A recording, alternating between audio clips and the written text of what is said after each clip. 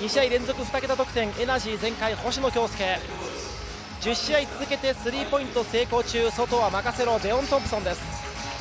今シーズンも共に登るというそうしたスローガンを掲げています、まあ、もちろん連敗中は悔しい気持ち選手同様ファンブースターの皆さんもあったと思いますけれども、まあ、だからこそね今日はこの岡田にまた一つ注目したいですね。もしかしたら痛めたのかもしれません。少し足を引きずる部分もありました。チャールズ・ジャクソン!エンドワンですデイビッド・サイモンが入ってます。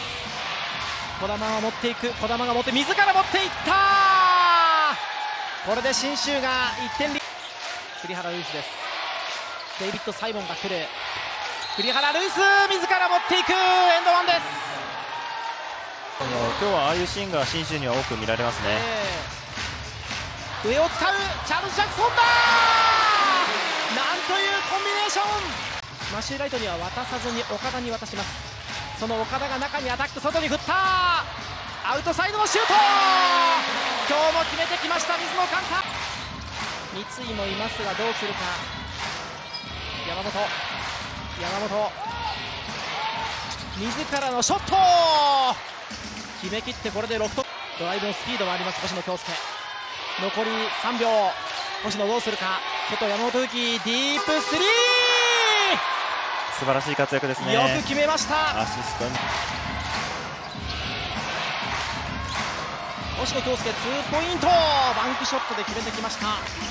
信州が再び前です。30残り14秒。上を使ってマシューライト。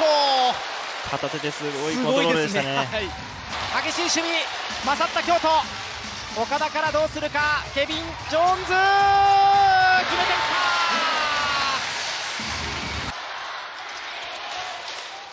マシューライトからケビン・ジョーンズコーナースリー。今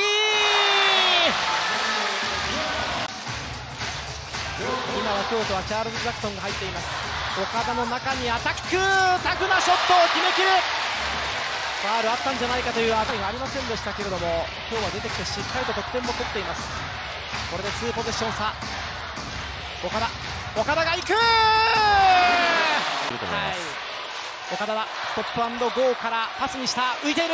青木隆二スリーポイント。ただ得点を取りながらも、中盤にはアシストを量産してますよね。栗原ルイス。栗原。迫りたい信州山本。山本が持っていく。残りわずか山本のシュート。ここで試合終了。京都はホームで連勝を飾りました